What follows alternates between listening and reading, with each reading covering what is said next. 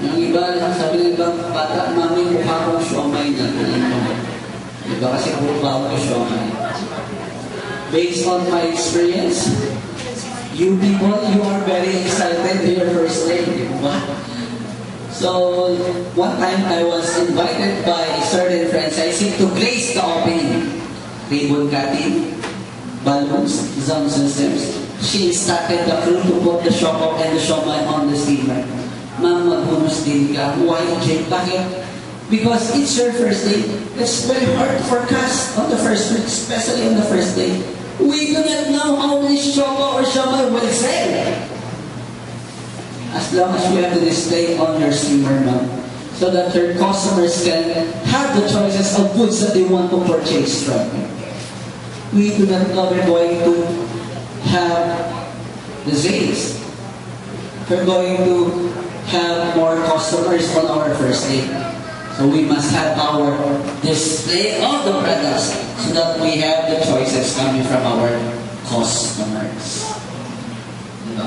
Kasi sabi niya, dahil siksik mo lahat ng shop o ang shopman, mamagulos delicate, delikado yan. Okay? Kakain tayo ng shopman, shop o mga So, mostly, on the first hour, first two hours our operation, of your operation, you are very, very jolly. Diba?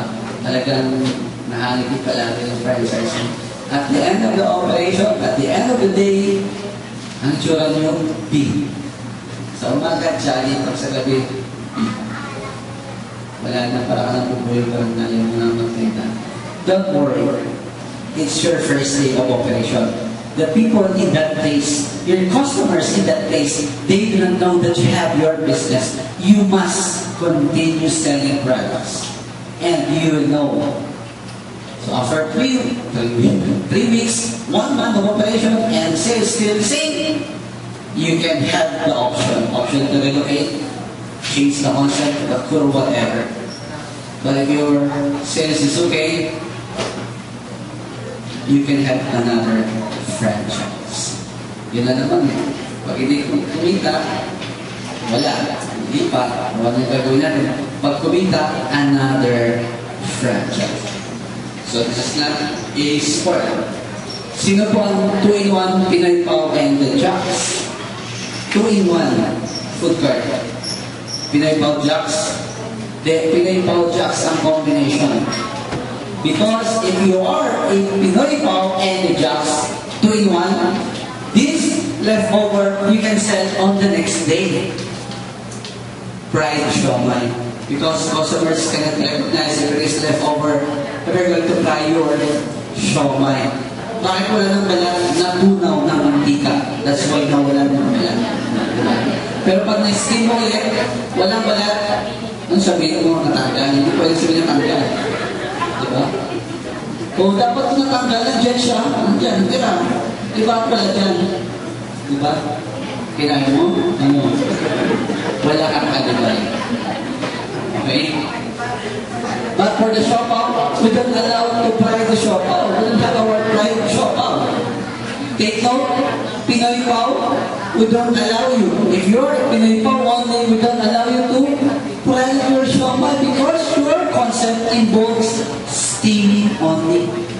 So how can you try if you do have your gift dryer? Okay? So this is our paper. On the side of the paper belongs your inventory. All products together with your packaging, you put it here. And on the other side belongs your sales report. So that in one paper, two documents made. Your inventory and your sales report. Okay? Well, depende lang yan kung gusto mo gayahin. Or if you have your unique way of counting your products every after operations. Okay? Then, next, next is the product purchase. I would like to emphasize again that your food carts, uh, the food cart is picked up without a minimum purchase. Lahat ng food cart pick up dito sa office or sa factory pag walang minimum purchase. What if you want to deliver your food cart straight to your place? That's the time that you're gonna avail our minimum amount of purchase in order to deliver your food cart in your area. Okay? If you are in Metro Manila, you need to purchase 3,500 worth of products. We'll deliver these products together with your food cart. How about if you outside Metro Manila? Sino po sa Bulacan? You need to purchase 10,000 worth free delivery. Beyond Bulacan, Pampanga, sino sa Pampanga? Nueva Ecija. Malayo pa doon. Saan siya? 25,000. Sa'yo, sir. In, sa siya, Baguio. Order ka products 3.5 sa amin. Okay? We're going to call with 3 liner. So, how much is the price of this 3.5? Ang kilo na is uh, 15 kilos. Sabi niya, 300. Okay? So, we're going to call you, sir, 300 po ang price. Online payment. Bank. So, 300 plus 3.5, 3.8. Once we confirm your deposit slip, it's either fax or uh, email, that's the time we're gonna send your products to the terminal here in Cubao, Victory Liner, and we're going to call you, sir, Victory Liner, itong oras alis, ganyan oras, ganyan, pick up the products. Po. That's for the first order. First order only. Succeeding order, as I have said, mandatory for the distributor. We have our distributor in Baguio and have the products from them. In Legazpi, we have the. We have Legazpi also, Iriga, and sino pa? Dasma, we have Silang, we have the Bacoor. So, Batangas, we have the Lipa, Santo Tomas, and the Batangas City, we have three. Okay? Imus, wala. Nag-stop operation. Binyan, yes, we have. Okay? Please get the names and the numbers of our district. Okay? You have the parts. Any concerns, problems with regards to your food card, call office, not to your agent anymore. With regards to the Filipino dream, to your agent, but with regards to the operations of your food cart, not to your agent here in the office. Kasi palagi, Sige, kasi sabi ni Leto, kasi sino ba sabi sa inyo? Yung agent ko, I told you already, call me here in the office for your concerns, for your problems. Because, bakit ko sinabi yun? Why say that? Because we have a one-day-old agent. Bago lang siya, ngayon na siya. One-week-old agent, they do not know of the operations of this food cart. If you're going to ask them, may sasagot siya sa'yo? Wala. That's why, here in the office, call me here for your concerns, whatever concerns or problems that you have during your operations, look for me here in online. Just log on. Log Pinoy Pau. Yan. Pinoy Pau underscore order at yahoo.com. But you need to confirm your order through call. Kasi sometimes hindi namin na-receive baka napasok sa Facebook ninyo or sa ninyo sent yun. Okay? You need to confirm. It's burden for you if you dictate your order through phone. Ay, isang isang ito, isang online. Diba? Para mas mabilis. The office, ordering of the products. Your first order, just look for Marian and Dito. Marlene, pampabuhay lang.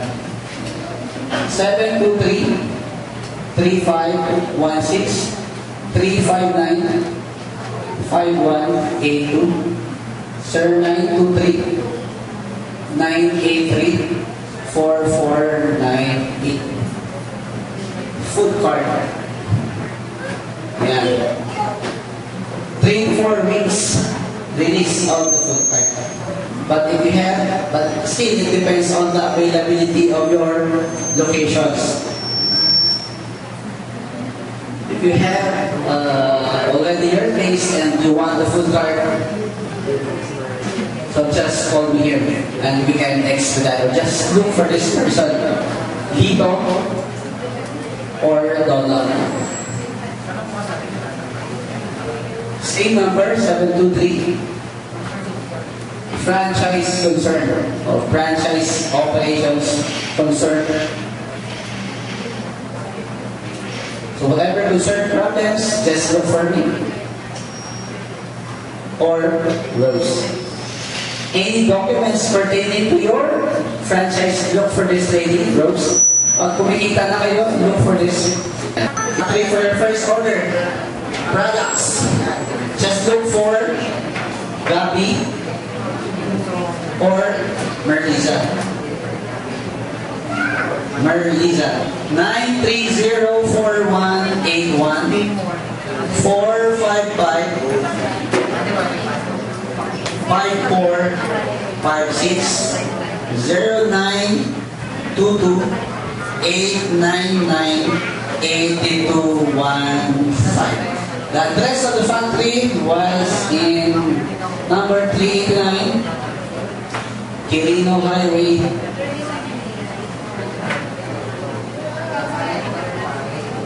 Novaliches, UC.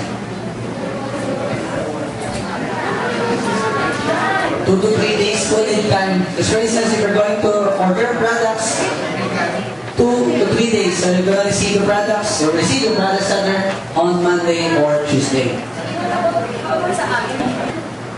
Go straight to the factory. Because here in office, limited products. Because we're going to supply, uh, we're going to supply, where uh, we've been supplied by the distributor, by the factory, two times a day. So, ang dala na ng products for pick-up. If you want bulk or volume products to the factory, dito sa amin 2,000, 3,000. So, kaya nga sinasabi ko sa franchisee, na gusto mo ng products na marami, don't depend here in the office. Kasi office lang to. Factory, nandun po ang maraming products. The ingredients, your address. We have three core values. One is quality. The other one is service. And the cleanliness.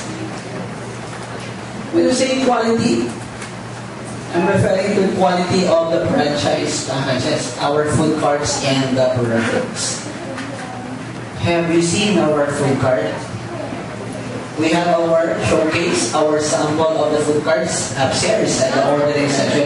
Have you seen the food cart? Nakita niyo ba food cart? Do you think we have a quality cart? Yes. Yes or yes? Yes. Kasi some says it looks cheap, cheap in the sense that you can afford, conform, cheap in the sense that it's an affordable franchise fee, or cheap in the sense that pangit. That's why we allow you to modify the food cart because it's a collapsible. Modify in the sense that we can put plywood before having the release or whatever modification or upgrade of the food cart basta hindi lang magbago ang logo and the structure. We will Okay? And I'm sure that it was redeemed by the products. Because, as I have said, we have the commissary or factory. Compared to other franchising company, they just depend on their suppliers.